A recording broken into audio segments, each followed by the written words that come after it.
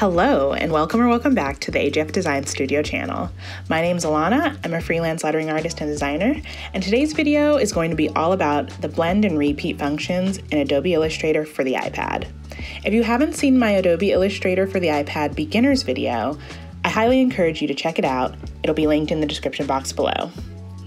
Alright guys, without further ado, let's jump right in.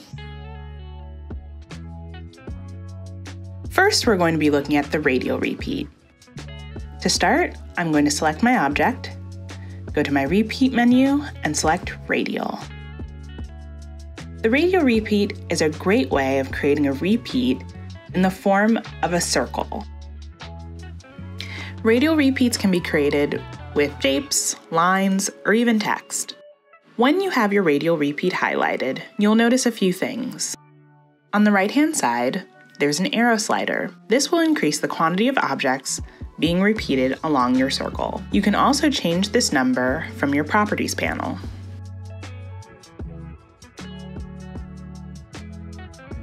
Along the inside of the circle, you'll notice two additional arrows. This is how you'll control how far along the circle your radial repeat will go.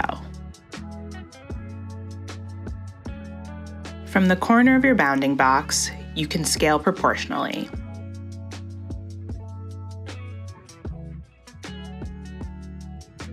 When you double tap any of the objects along your repeat, you can freeform edit them how you'd like. As you can see, any edit that you make to one will be made globally to all objects.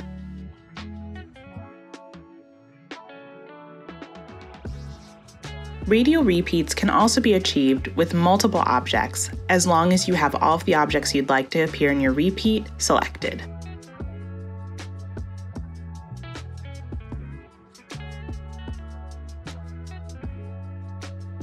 Next in the repeat menu, you have the grid repeat. With your object selected, you'll automatically create a grid. Much like with the radial repeat, you'll notice arrow sliders. The arrows along the top will control your vertical spacing.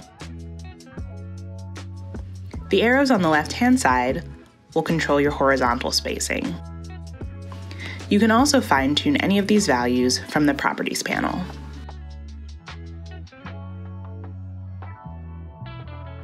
Also within your Properties panel, you can choose your grid type. The first is a standard grid, and your second and third options are variations of an offset pattern. You'll see these effects applied depending on the kind of grid repeat that you have. The flip row and flip column will flip your objects along the X and Y axis vertically or horizontally.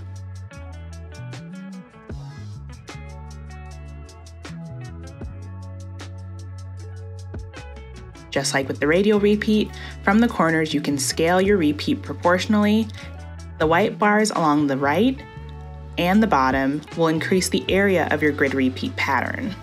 Just as you did with radial repeat, you have the option of making any edits to an object or objects within your grid repeat pattern, and they will be made universally to all of the other objects. Think of these white bars as creating a clipping mask around your grid. To release the clipping mask from around your grid repeat, go to the Object panel, select Expand. And then from there, select Release Clipping Mask. Now you can see your full grid repeat outside of that clipping mask bounding from your grid repeat pattern. The mirror repeat is pretty simple. When you select an object or objects, you'll see a center line appear. The small point in the center is where you can move your objects closer or further away from the center line by dragging left or right. The point at the very top of the center line is how you can rotate your repeat.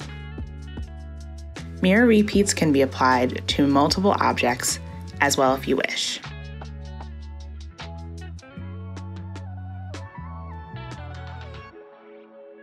The blend repeat is one of my personal favorites, and it's a way of creating free-form repeats along a path. You only need one object or line to create a successful blend, but you can also blend multiple objects if you'd like.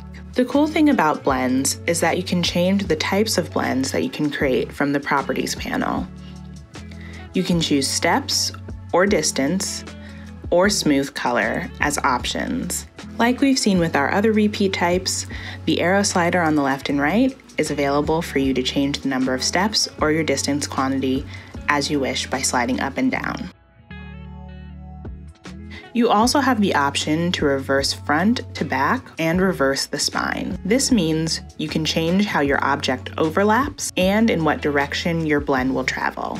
The replace spine function is really fun because you can take your blend and have it conform to a completely new path. Simply have the path that you'd like to have your blend on, select both your path and your current blend, and select Replace Spine. With my blend selected, I can use the bounding box to adjust the proportions and change it to my liking. I can also select any of the points along this blend, change its color, and make edits to it as I wish. I can also use the pen tool to select points along my path, to add points, delete points, or change the configuration of my path to my liking.